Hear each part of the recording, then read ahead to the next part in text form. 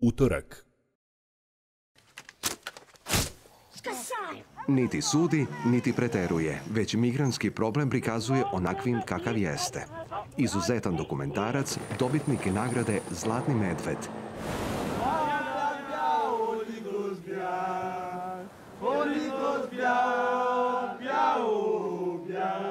Požar na moru, u utorak u 23 sata, na RTV-u 2.